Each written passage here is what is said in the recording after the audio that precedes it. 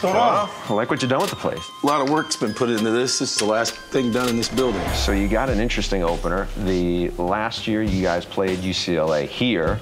Josh Rosen's back. What concerns you most about these guys? You know, after being up close and in, in person with Josh Rosen, I think he's one of the best, if not the best quarterbacks in the country. In the game we played in particular, you know, he's tough. You know, I'm sure he's going to have a little chip on his shoulder after, after the overtime of last year. Anything special about going into this venue to, to, play your opening game of the season there? A lot of guys haven't been to LA. You know, I can remember going there the first time and, and you pull up and, you know, you, you, the sun's out and, you know, the mountain, just saying, wow, this is, it's a great place. Number one in America takes down number six. Aggies take a second loss for the season. And the Rebels now have knocked off Texas A&M. You hit that November wall.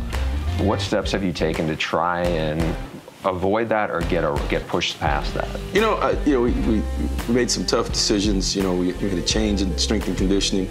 You know, we got to be careful because we've been pretty good at the beginning of the year.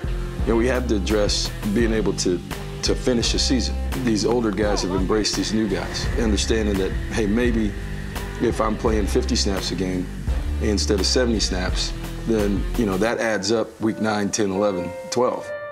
Coach knows he has to win, and he has to win this year, and we have to do better than we've done in the past.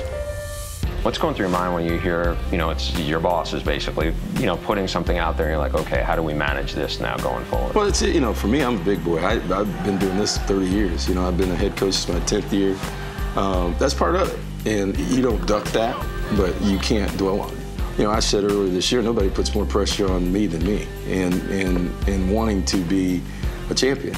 In the SEC, you know, there's there's 14 fan bases. Seven of them think they're going to win the West, and seven of them think they're going to win the East. And anything short of that, they're not very happy with you. But uh, I wouldn't trade it for the world.